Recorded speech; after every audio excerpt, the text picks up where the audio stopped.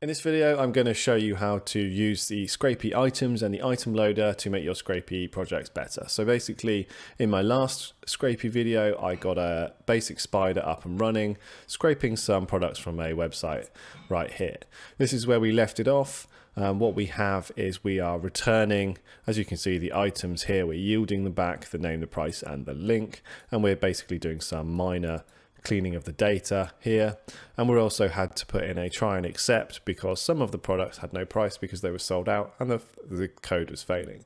So I'm going to show you using the items and the item loader how that is how you can make this much tidier and much better. So the first thing that we want to do is we want to come over to the items file. This is a PY file that is created for you by Scrapy. It's in your project folder. And we can see that it's already started and created our class for us here. Let's make this one bigger so it's easier to see. And that has some information in it. So what I'm going to do is I'm going to uncomment this line because we do want to use this. I'm going to say name is equal to scrapy.field. And we can see here that I have a name field in my code as well. So I'm going to do the same for price and link price is equal to, again, it's a field, and then also link to. Uh, there we go. So what this is doing is it's creating a sort of template for a basic item that we are we've called whiskey scraper item here. This is a default. You can change this if you want to. And I'm going to remove the pass because we don't need that. What we can do now then is we can actually import this class into our main spider and we can then use it to put the data into and then yield back the actual item class instead itself. So if we come back to our code, and I'm going to remove the except here because we're not going to be using that anymore. We have a better way of dealing with it. I'm going to move the try and let's move this back over so it's in the right sort of place. So what we want to do first is we want to actually import our item in. And to do that, we're going to do uh, from, and our project is called Whiskey Scraper. I can never remember dot items and we're going to import in our class which is here. So I'm going to copy that to paste that in there. So basically saying from our items py file we're going to import this.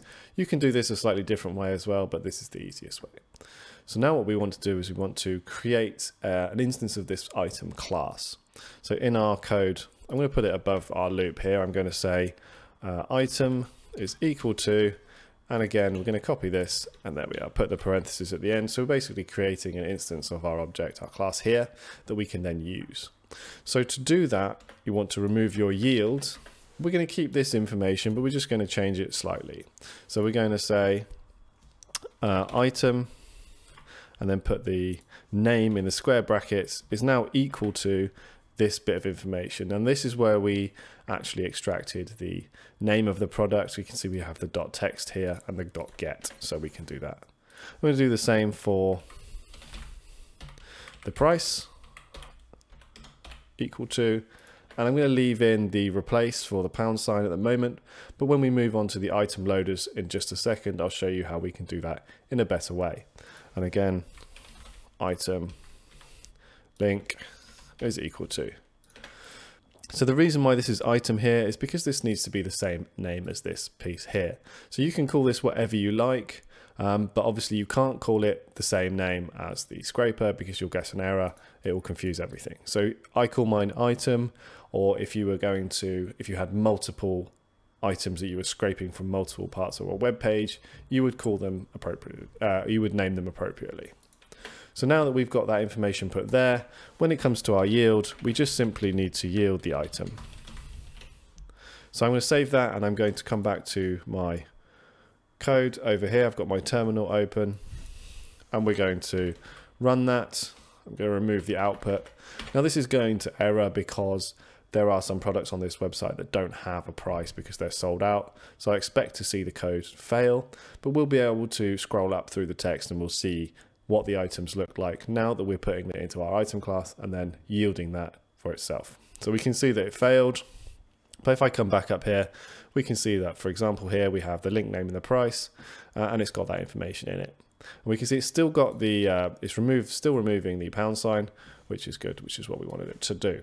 So that's all good and well, um, but we're still having the same problem where we're not getting data and it's failing, and we're still having to put in, uh, for example, our dot replace here. Now, if you had lots of data that you wanted to clean up, this could get really messy really quickly. So this is where the item loader comes in. Now, we can now set up our item loader class and we can tell it to do everything that we want to do, including removing HTML tags and giving it our own functions like replacing a pound sign in a string. So we want to go back to our items file and, and under import Scrapy we want to do from Scrapy dot loader and we want to import the item loader. Typing is proving difficult for me today. One second. Item loader. Okay, so we just need to import a few more things and I'll show you how they work with it in just a second. So from item uh, loaders dot processors we want to import uh, take first map and map compose we'll just do those two for now. And also from w3 lib dot html html import uh, remove tags. There we go so this is the one that is going to, this is the function that will remove the HTML tags. If I hover over it there, it says remove HTML tags only. That's good. Uh, if I do the same for take first, it says returns the first non-null or non-empty value received. So that's what definitely want to use that one. And map compose um, is basically the processor that basically lets us execute functions on the code. Um, so what we want to do is we can use all of this and put it within our Scrapy field uh, and get it to do things with the data um, as it brings them in. So as we're doing it at the moment, what we're doing is we're actually, as we grab the data, we are asking for specifically the text and then we are getting it and then we're replacing. So this is all very well, but again, if you had a large project, uh, you'd have to put these all in manually and it would be a bit of a mess and very untidy and a bit of a disaster, to be honest. That's why we use this way, so we can, in our classes, get that to do it for us. So every time it gets an item that matches this class, it's going to do this to all the fields. So what we want to do is we need to use two load, two um, processors. We're going to use the input processor and the output processor. Um, they do just a couple of different things. So we're going to say input processor is equal to, and we're going to give it map compose because this is the one that uh, lets us execute functions on this line. And I'm going to say remove tags. Uh, and then the output processor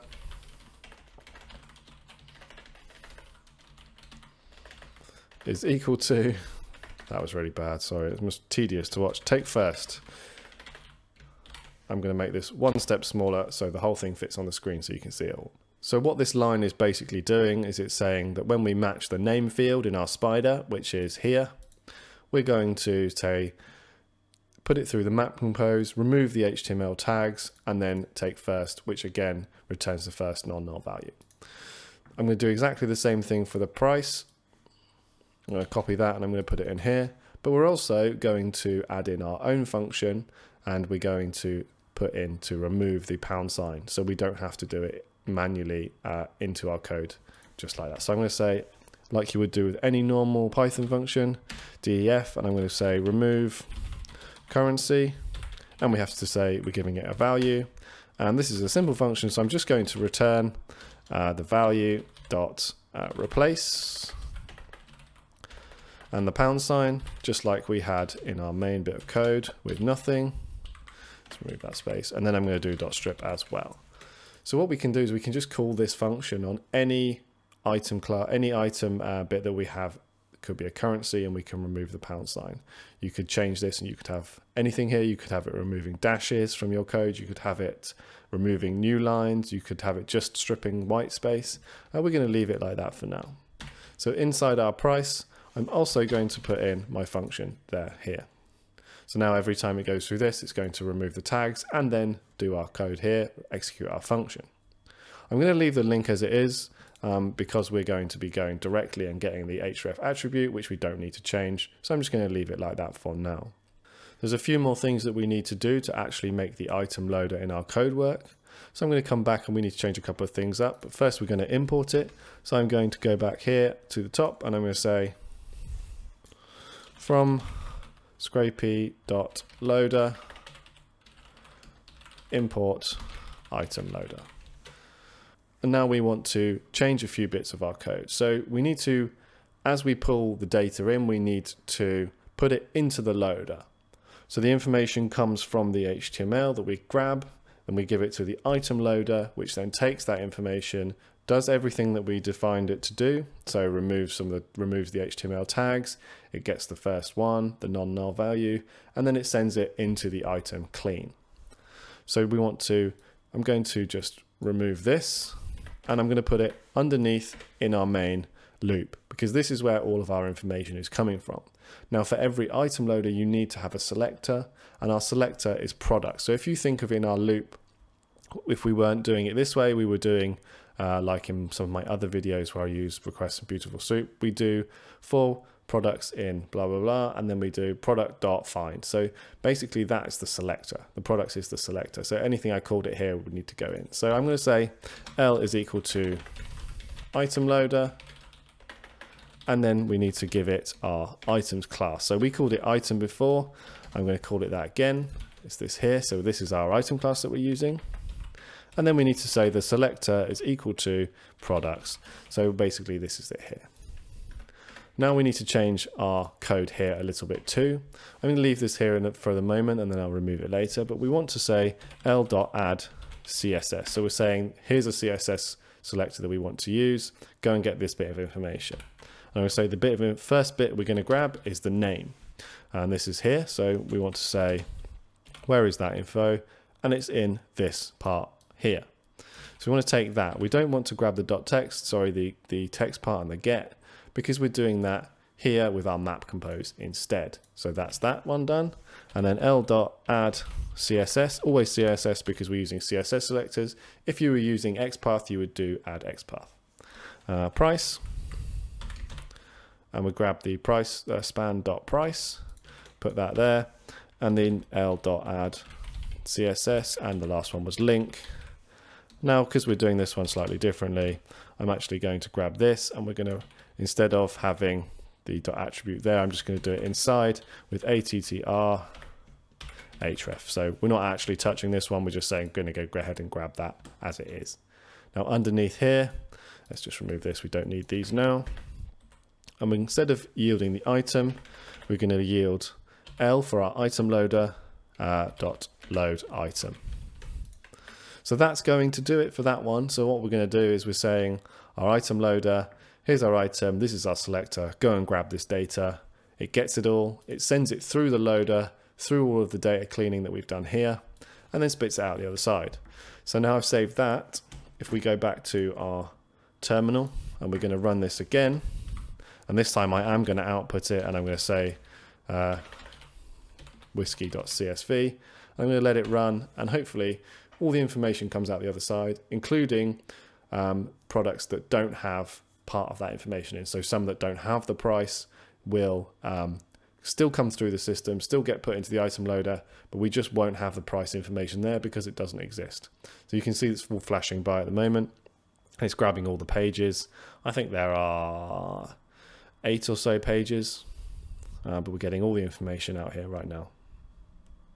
So that's just finished and we can say, we can see that it says item scrape count 762. And if I go back to um, my VS Code and come to the here, we can see we've got all the information. There's a nice long CSV file. Um, I'd actually already run this, which is why it's doubled up. Um, there, we can see all the information. If I find a line somewhere that doesn't have a price, we'll see that it's just there's just no information there. I'm sure it's worth, There we go. So you can see this one didn't have a price and it just has no information uh, because couldn't find anything. So that's essentially it guys, that's how you would use the item class and the item loader in Scrapy. It's definitely worth doing even for small products or even, even for small projects because if you want to come back to them and expand them, or it's all there, it's all a nice base. Don't forget you can create your own functions that you can give to the map compose that will let you execute that on those codes. So if you wanted to do anything different, you could do that. So hopefully you've enjoyed this video and it's been useful for you in some way. This will be the second or the third one in my Scrapy series. There's going to be more coming. We're going to be doing more Scrapy projects.